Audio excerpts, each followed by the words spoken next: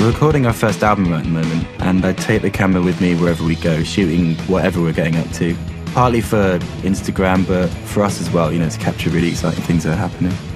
It's been super easy. I thought the 2000D might be trickier to use than a phone or something, but it's not. It's really simple. It's really intuitive. You just pick it up and start shooting.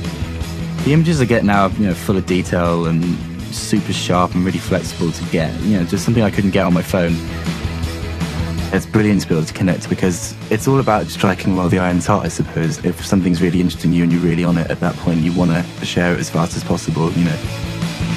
As well as the great photos I get on the 2000D, I like the full HD video and the cool snapshot feature. You can take loads of four second video clips and then the camera edits them all together into a film.